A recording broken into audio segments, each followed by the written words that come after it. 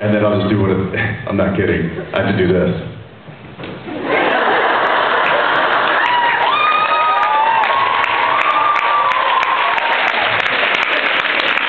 And I'm good for about like two or three laps, and then I'm like, Daddy needs a snack.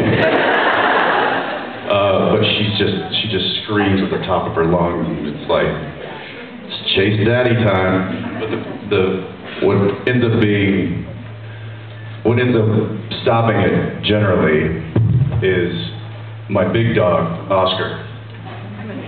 He thinks it's time to play chase too. So now I have this 70 pound dog running and leaping, and when you've got a little two year old trying to chase you, the two of those things don't mix very well because they're both hyper and out of control. And, but Oscar thinks it's fun to, um, to chase and then grab with teeth. So I have to, I generally have to tackle him and put him down, and then JJ just jumps on both of us. And that's my life when I go home.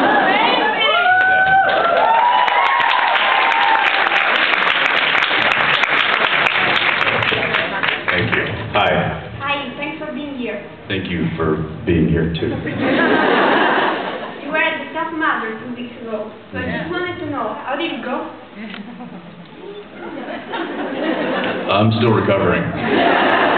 Um, it went great. It was uh, it was a, a wacky idea that that I brought to the table. Uh, I didn't come up with it on my own. Another uh, a friend of mine had asked me to do one a couple of years ago, and I wasn't available to do it. And, and then I was discussing it uh, with Misha and Jared one day.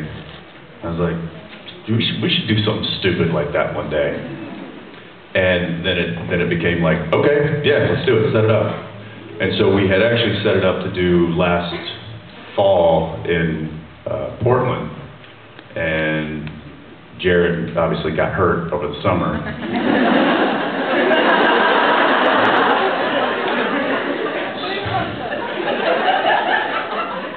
so we postponed it, and uh, and I started looking at you know other cities because they do them in various cities like almost once or twice a month, and uh, and then I saw that there was one near uh, Austin. I, I knew that, that we were going to be there, and that, that that made a lot of sense and for us, and I kind of put the word out to the other guys. And, um, a lot of them really wanted to, to also be a part of it. Tahmoh wanted to be there, Sebastian wanted to be there, uh, uh, Gil wanted to be. So there was a lot of guys that, that couldn't couldn't make it. Matt Cohen wanted to be there, um, but uh, but we got a good group of guys, and, and everybody you know kind of trained for it a little bit. uh, I think if we were actually running a competition, that it would have been a lot more difficult. But it was a nice kind of um, bonding thing for the guys to do, and, and uh, I there there is video of it.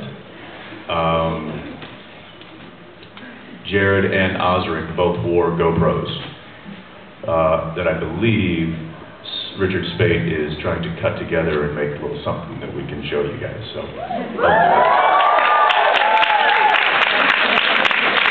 It ain't pretty. It ain't pretty at all. Uh, but yeah, it was a, it was a lot of fun and, and it was a really good uh, it was a good bonding experience for, for those guys. Thank you so much. Yeah, thank you. Hi.